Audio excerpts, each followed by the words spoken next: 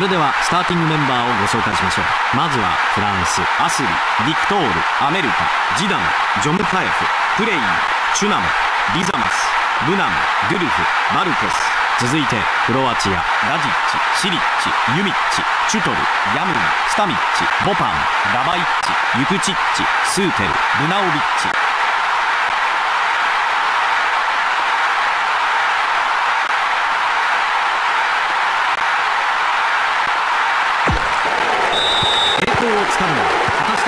チームなのか地響きのような声援を受け今運命のキックオフ。画面に向かって右にエンドを取ったクロアチア。反対側左にエンドを取ったフランス。ジョムカエフチュナム。合わせた。つながりません。ビクトール。ブナオビッチ。ビクトール。おっと奪った。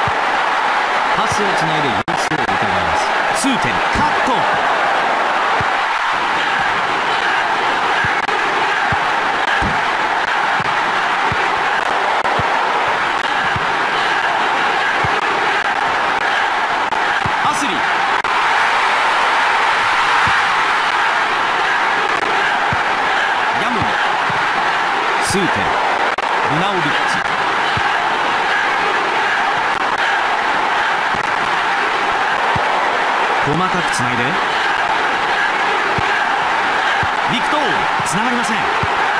ユクチッチ。ブナオビッチ。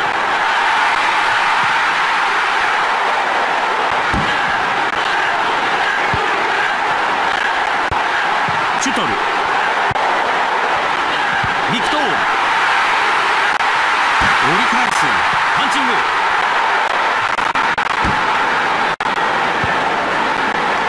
うーんこれはファールでしょうさあプレイリザマススタミッチビクトール高く上げたシュートこれはゴールキックこれは惜しい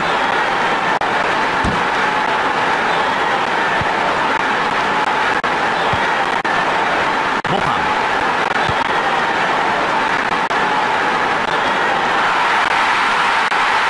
スタミッチ放り込んできたヘディングゴールマウスに嫌われたヤマイッチ交代選手がピッチサイドでウォーミングアップを始めました。おっと奪った。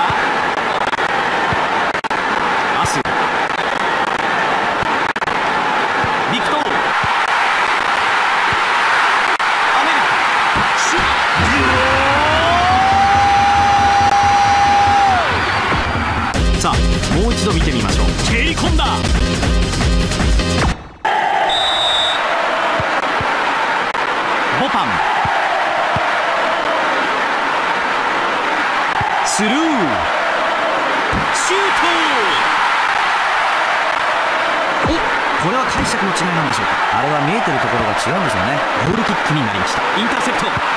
つながりません。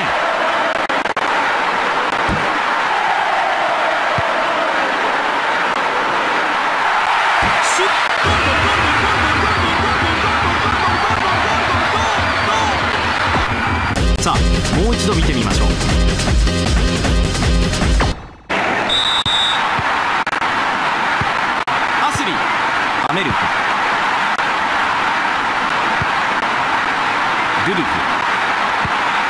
おっと奪った。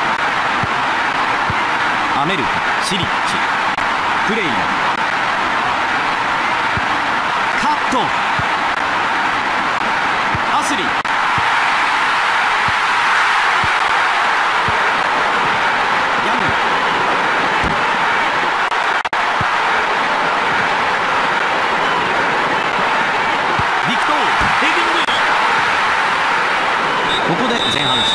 声援は一旦小康状態になりました。がここ放送席でもそこを感じてひしひしと。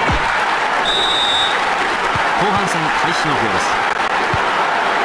ジョムカエフさあどう攻めるのか。チリッチ。スタミッチ。おっと倒されたフリヘ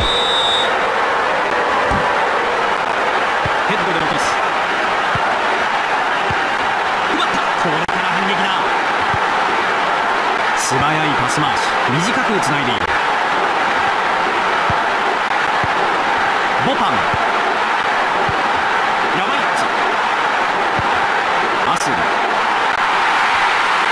センタリング。プレイ。シュート。キーパー殺した。しかしこれは決まらず。直接狙ってくるのか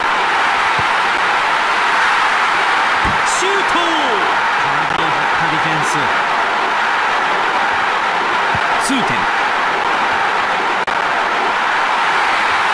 た上げた。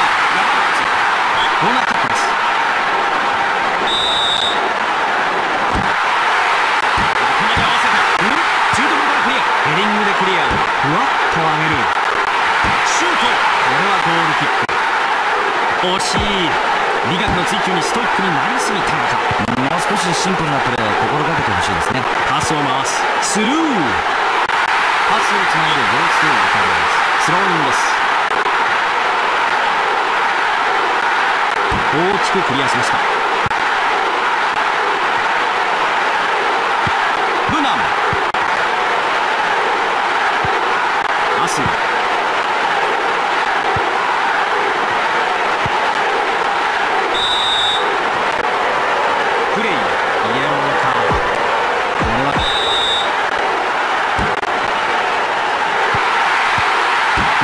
しまいだヘッドで落としてアサロビッチボパンビクトーヘッドで落とす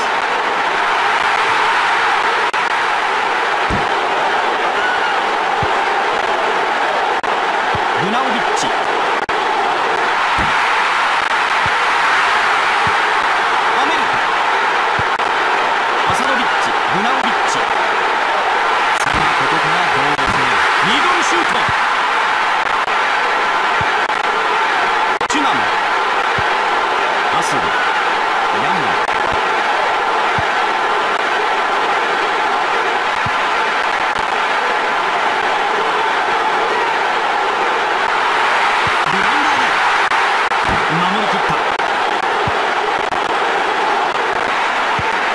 細かくつないでさあどうせキラーパスになるのかおっと奪ったフィニッシュまで持っていけません。ヘッドで落とす。短くつないでいる。おっと倒された。さあフリーキックですキーパー正面。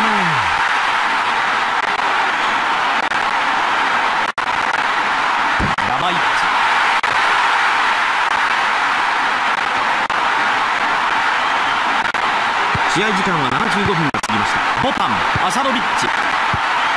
数点スルー低いボール大きく前方にクリア。ボパンパスを回す。パスをつないで様子を伺います。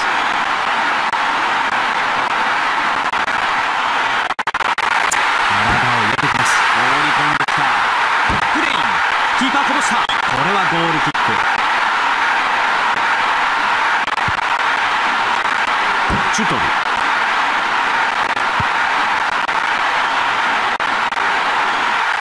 コールスタノキッチセンタリング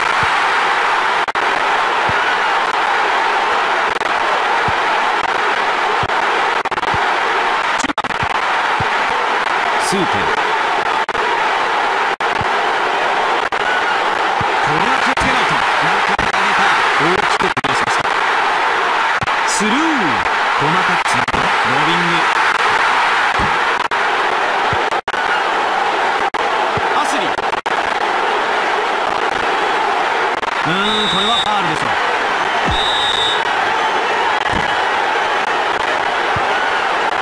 スーペルルナアスリカットアスリつながりませんヘッドで落として敵を翻弄していますイコルスターキッチ